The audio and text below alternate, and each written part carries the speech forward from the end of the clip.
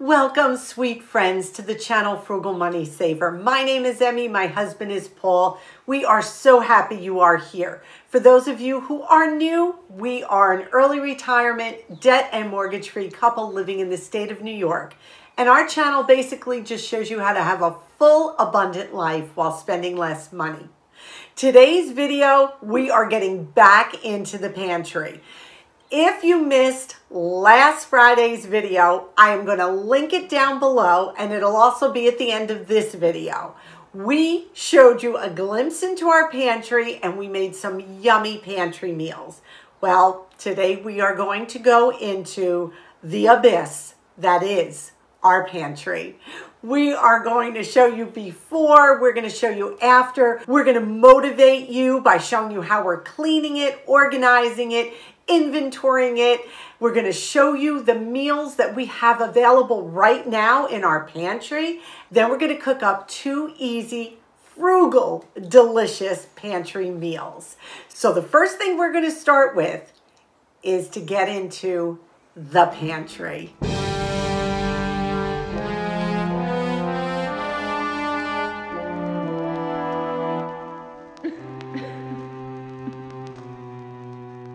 So how did our pantry get like that? I'll tell you how.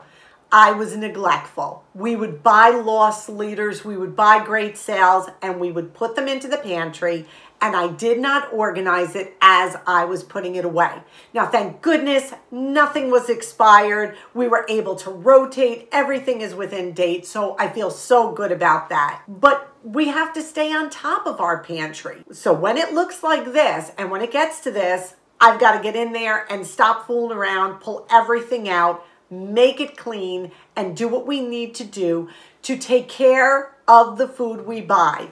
Because that food in there is cash, it is money. And if we're not taking care of our food supply, then we're not taking care of our money. And that is not good.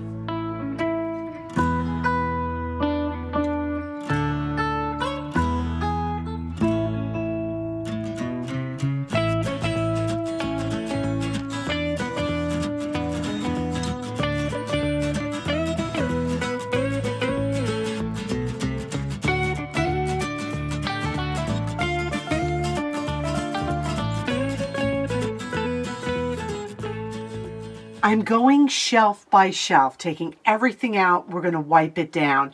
I want to show you what Paul did a while back, which was just so helpful for me. Because the shelving had open sides and an open back and food used to fall through, honestly, what he did was he put cardboard all around on every shelf for me now so nothing falls and it works out perfectly. Oh yeah, we still have this whole shelf, but we're getting there. And how Paul kept the cardboard up. He punched two holes in and then put wire through. It works perfectly. I'm continuing to take everything out and wipe everything down.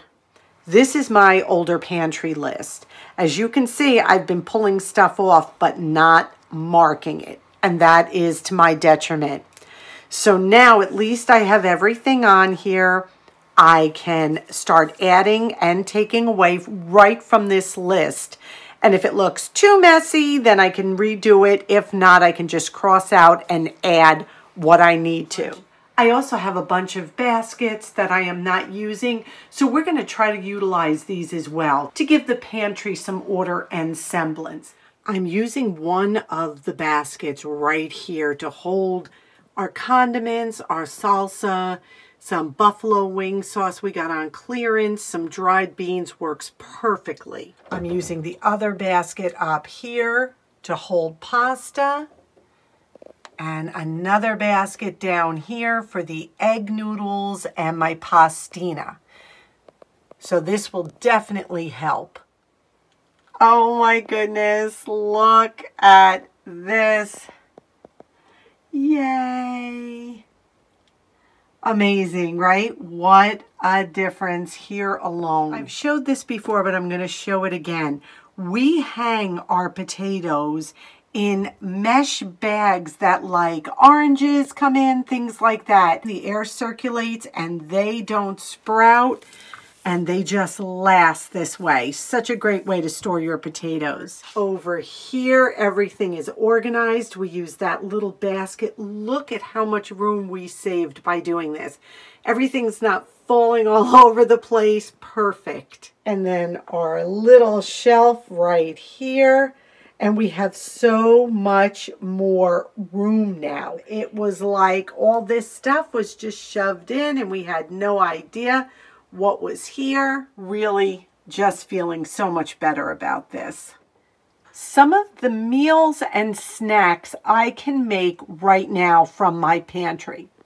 I have got two jars of peanut butter and I have crackers to go with it. I have jarred olives and canned olives that could be mixed with pasta, a little olive oil, and cheese. We've got canned green beans, which make wonderful addition to soups and stews, and even cold with vinaigrette dressing, like I shared with you the other day. You can also add olives to that. We have got tuna that you can mix with the olives and pasta a delicious meal. We've got oats that you can make oatmeal with, cookies with, baked oatmeal. We've got canned corn, creamed corn. We've got canned beans, canned vegetables. These all can be mixed in soups and stews with meats and pasta and rice. We have got dry beans and dried barley. We have got salsa. We've got canned tomatoes that can go with the pastas. It can go with the barley. It can go with the beans. We've got cake mixes for a sweet treat. So there are a bunch of meals we could eat right out of this pantry right now if we needed to. So it's always great to stock up and know what you have. I feel so much better. Paul feels better. Dixie and Loris feel better. The whole family is happy. That pantry is organized, it's clean. I inventoried everything and we are good to go. Isn't it amazing? I just took the camera in with me and showed you just pulling from there what we could eat. It's, it's amazing what a well-stocked pantry can do for you. Not counting what's in our cabinets, our freezers, and our refrigerators as well. Let me just briefly go over why it is so important to keep a well-stocked pantry. And please remember, as you are eating out of the pantry and rotating your dates and using what you need to use first, continue to stock it. Do not use everything in your pantry and it's bare. Try to keep rotating and keep replenishing. It is so important to keep food in the home and to keep a well-stocked pantry. Even though we do these eat out of the pantry challenges, we continue to stock up on loss leaders and on good sales so that pantry will never ever get low. So let's talk about why it is so important to keep a good pantry. Number one, less takeout, less eating out. When you can pull a meal together in minutes from your pantry, you've just saved yourself a ton of money. You have to think of it as money. Because even if you were to grab some tuna, mayo, crackers, and green beans, you have a meal right there. There is no reason you need to get into your car and drive to a drive-through or drive to a restaurant. You got everything you need. Another reason keeping a well-stocked pantry is so important, it eliminates those quick trips to the store to pick up ingredients because you stock what you eat and what you need. If you're looking for a can of mixed vegetables to add to your stew, it's already in there. If you're looking for egg noodles to add to a casserole, well, guess what? They're already in there. You don't have to hop in your car and run to the store please make sure you are stocking your pantry with food you actually eat. There's nothing worse than stocking your pantry with a really great priced item that you don't like because I guarantee you, you will not eat it and you'll either donate it, which is fine. Please donate it. Don't let it go bad and toss it.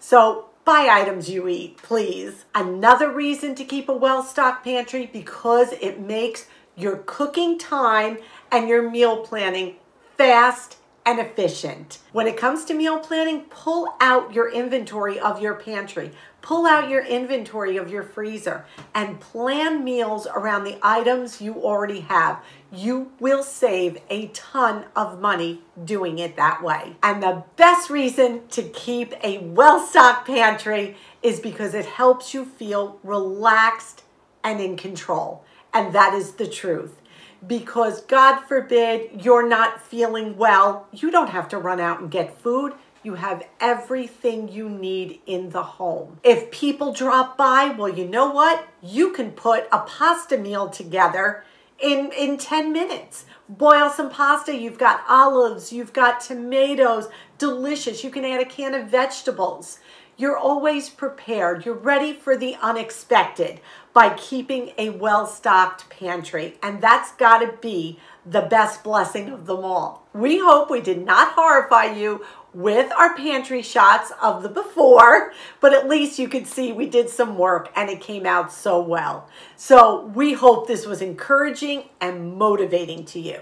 Now let's get into the kitchen and create two easy pantry and refrigerator freezer meals from things that we already have in the house. So let's turn this camera around and get into the kitchen. We are continuing to eat out of our pantry and our freezer. Just thought I would encourage you with this. So I took out a pound of ground beef, eight ounces for tonight, and then eight ounces for tomorrow. So what are we having here? We are having tacos. I have the eight ounces of ground beef. I have an open container of sour cream, an open container of salsa, I have the taco shells that we bought on clearance for a dollar nine. An avocado. I have a tomato. We have some provolone cheese that I just took out of the freezer because any cheese is good on a taco. We have already prepared salad and it has got a little bit of cucumbers, lettuce, carrots. This will be great on a taco. Perfect, and we don't have to make anything else. And yes, we always lay a clean paper napkin on top and then we cover it, keeps it nice and fresh. Then for tomorrow, another half a pound of ground beef. I'm going to make meatballs out of this. I got a couple pieces of stale bread, which I'll add to that. And we're gonna make sweet and sour meatballs. And we have a can of pineapple, we have leftover rice, and then I just need some brown sugar, a little soy sauce, and then I'm going to put in a bag of frozen stir-fry vegetables. Two meals ready to go, pantry, freezer, refrigerator items only. What I do when I make tacos is I never use a seasoning packet. You can make it at home cheaper, better, less sodium. I browned the ground beef. I drained it, all the oil out. I add a little bit of salsa. Little bit paprika, and always do this after you drain the meat because if you do it before, you're draining out all the spices. A little chili powder, onion powder, and you do this to taste, and a little bit of garlic powder. Now you can definitely add cumin. We just don't care for cumin. I add just a tiny bit of water and then we just cook this down going to thicken and it is going to be so tasty. You can add salt and pepper as well, but I think we got a lot of good flavors going on here. So I'm just going to cook this for a minute till it reduces. And you have a delicious homemade taco seasoning without the packet.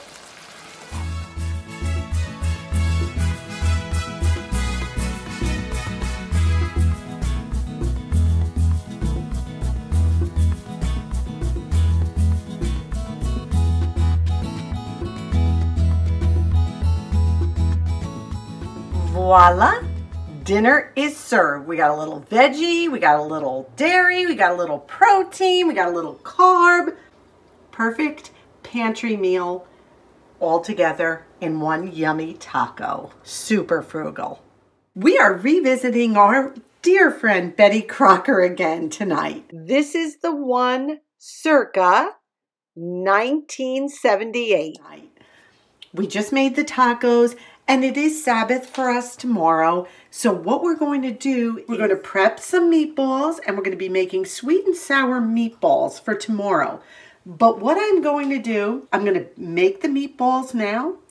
And then I will also cook the sweet and sour sauce, which is super easy right on the stove. And then tomorrow what I'll do is I'll combine everything and heat it through and add some frozen stir-fried vegetables to it as well. We've got our half a pound of ground beef. I am going to add a whole egg, even though I'm only using half the meat cold for. I've got a piece of white bread. It says about a half a cup of dry breadcrumbs, but I'm just doing a piece of dry bread, and I think this will be perfect. Just watch your fingers if you do this. I always tell you that when it gets small, dump it in. An eighth of a cup of milk and add a little onion powder. We don't really care for onion in our meatballs, like pieces of onion. I'm gonna give it a splash of this sauce. I'm not even gonna try to pronounce it. Worcestershire. Yeah, there you go, just a little. And salt and pepper to taste. I'm gonna make some meatballs now. I did add more breadcrumbs. I took another piece of bread and grated it. I think adding the whole egg was a little too much with a half a pound of beef, but it's fine. So we added a little more bread. I bake my meatballs. I don't fry them. So they're going to go into a 400 degree oven till they're fully cooked, about 15 to 20 minutes. For our sweet and sour meatballs, I've got a cup of pineapple and in that cup I added juice as well. I always get my pineapple in 100% juice. I don't get it in the heavy syrup. This is just tastes so much better because we're adding sugar anyway. so a quarter cup of brown sugar. I am going to put two tablespoons of white vinegar. I am halving the recipe. That's why this is a little less than it showed in the book half a tablespoon of cornstarch. I do not have any soy sauce in the house, did not know it. So I looked it up and second on the list as a substitute for soy sauce is this sauce again.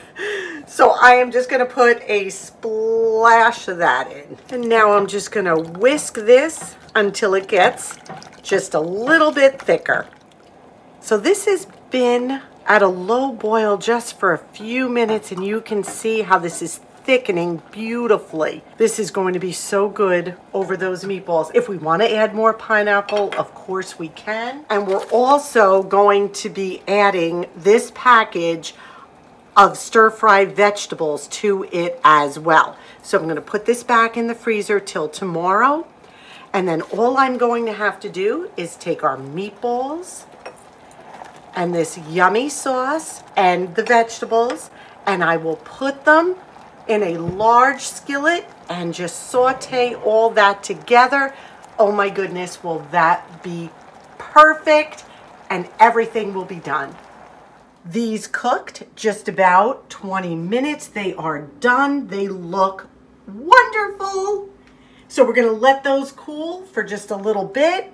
Our sauce got thick and I just tasted it. Oh my goodness, it's perfect. After the meatballs and the sauce cool just a little bit, we're going to put them in the refrigerator till tomorrow and then we'll take them out. We'll combine them with the stir-fry veggies in a pan and we have a delicious meal because guess what? Remember we showed you we have leftover rice as well. So we are good to go. Another pantry meal down.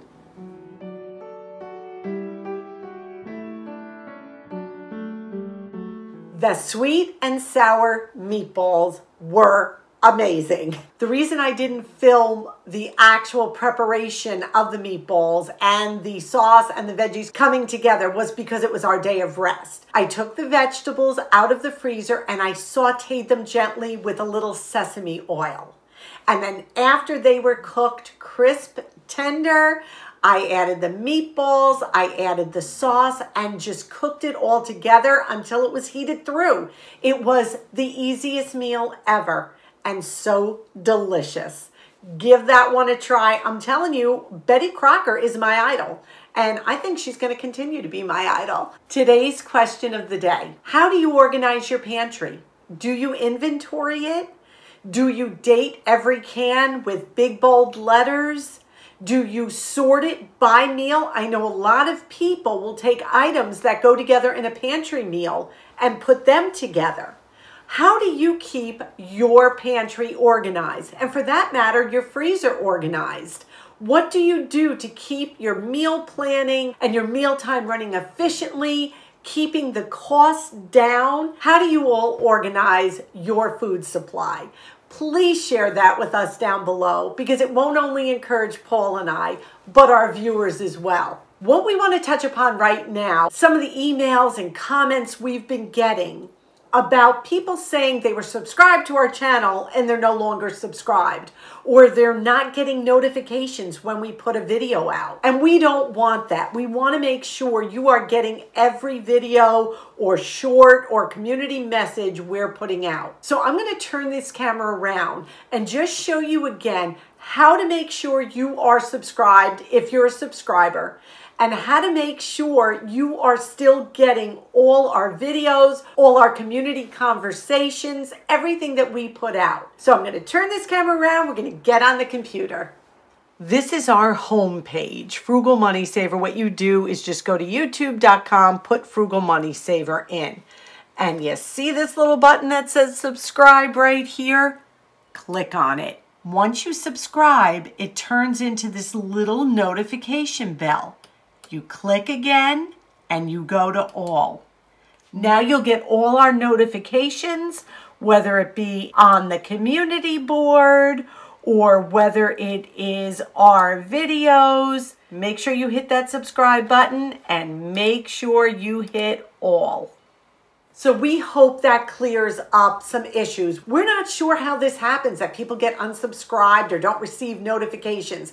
But if you follow the steps we just showed you, then hopefully this will work.